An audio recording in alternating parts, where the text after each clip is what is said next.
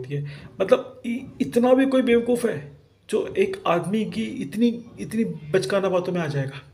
एक आदमी इतनी बचकाना बातें कर रहा है, टेलीफोन पर फ़ोन करके लोगों को बेवकूफ़ बना रहा है और इंटरनेट के ज़माने में। व्हाट्सएप के ज़माने में वीडियो कॉल के ज़माने में वो पुराने ज़माने का टेलीफोन यूज़ करके पुराने ज़माने की तरह से वो कर रहा है। अगर ये फ़िल्म नाइन्टीज़ में बनती तो शायद ये फ़िल्म चल जाती। एट्टीज़ में बनती तो ये फ़िल्म चल जाती।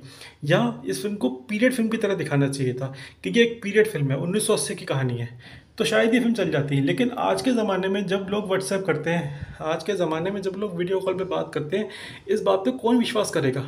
कि आयुष्मान खुराना इस कहानी को वहाँ तक ले जाता है कि उसकी शादी हो रही होती है।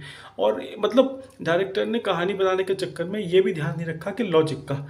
आज के ज़माने में ये फ़िल्म नहीं चलने वाली। या तो सीधा इसको दिखाना चाहिए था कि ये एटीज़ की स्टोरी है। उन्नीस सौ अस्सी लिख देते नीचे नीचे लिख देते उन्नीस सौ अस्सी, उन्नीस सौ नब्बे, उन्नीस सौ पंचानवे। शायद लोग विश्वास कर लेते। लेकिन आज के ज़माने में इस तरीके की कहानी नहीं चलने वाली।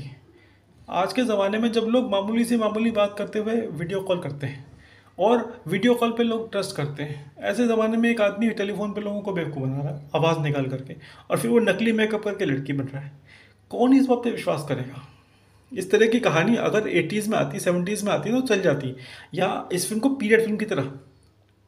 इस फ़िल्म को अगर पीरियड फ़िल्म की तरह दिखाया जाता ना, कि ये 20 साल पुरानी कहानी है, उन्नीस की कहानी है, या उन्नीस सौ नब्बे की कहानी है तो शायद लोग विश्वास कर लेते और लोग इस फ़िल्म को पसंद भी कर लेते लेकिन इन्होंने आज का दवाना दिखा रखा है। और आज के ज़माने में एक आदमी है आयुष्मान खुराना जो लड़की बनकर लोगों को फ़ोन कर रहा है और लोगों से, लोगों के साथ फ्रॉड कर रहा है। अरे भाई इंटरनेट के ज़माने में वीडियो कॉल के ज़माने में कौन आदमी ऐसा बेवकूफ़ होगा जो टेलीफोन की बात पर विश्वास करेगा? सोचना चाहिए। डायरेक्टर ने ये भी नहीं सोचा कि मैं बना क्या रहा हूँ। और कौन से ज़माने में बना रहा हूँ? ये 20 साल 30 साल पुरानी कहानी है। 1980-90 में अगर ये फ़िल्म आती तो चल जाती। या आज भी इनको पीरियड फ़िल्म की तरह से इस फ़िल्म को बताना चाहिए था कि ये फ़िल्म 20 साल पुरानी कहानी है।